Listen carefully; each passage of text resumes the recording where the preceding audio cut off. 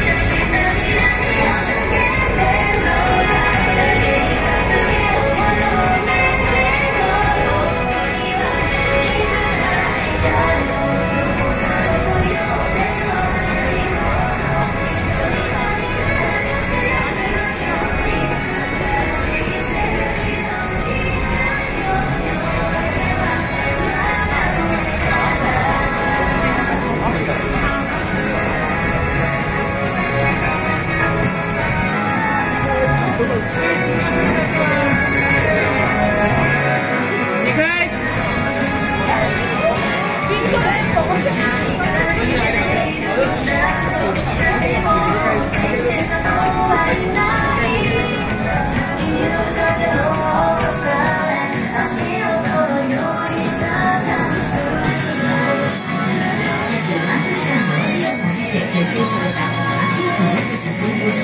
人組アイドルグループホワイトスカーピオン。11人の躍動感の表情を余すことなく切り取ったデビューシングル「眼差しスナイパー」のミュージックビデオが鮮烈なインパクトを持って放たれたばかりだが早くもセカンドデジタルシングル「コヨーテが泣いている」が配信限定でリリース。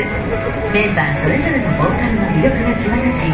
ピアノとブラスによって次々と曲が展開していくグループ感のポップサウンドとして新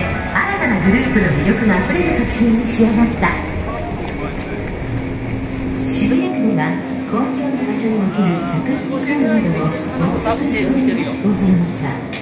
全ての業種の客引き客待ちスタンプコールを禁止です被害者には闇引きの命令書店舗名個人名住所などを公表します